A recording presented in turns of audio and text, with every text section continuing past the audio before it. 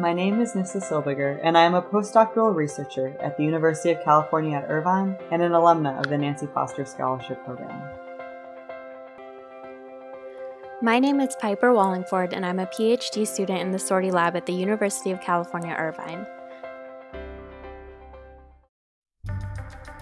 Hi, I'm Nyssa, I'm Piper. and uh, we got some requests to show you our van, so that's what we're gonna do right now.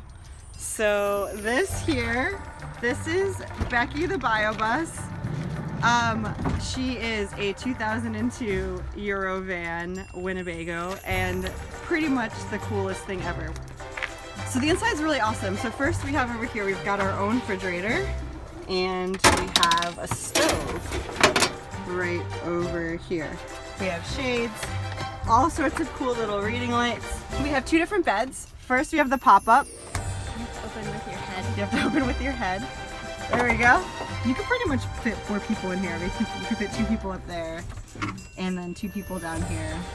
This chair swivels around so that we can actually sit at the table together.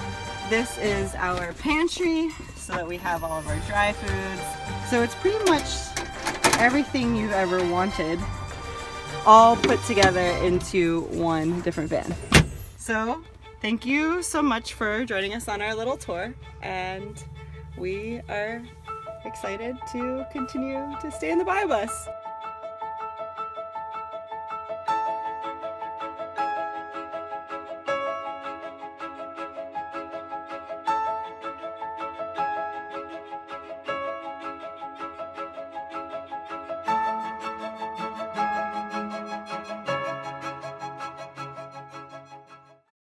My research broadly focuses on the interaction between climate change and the natural variability of coastal marine ecosystems.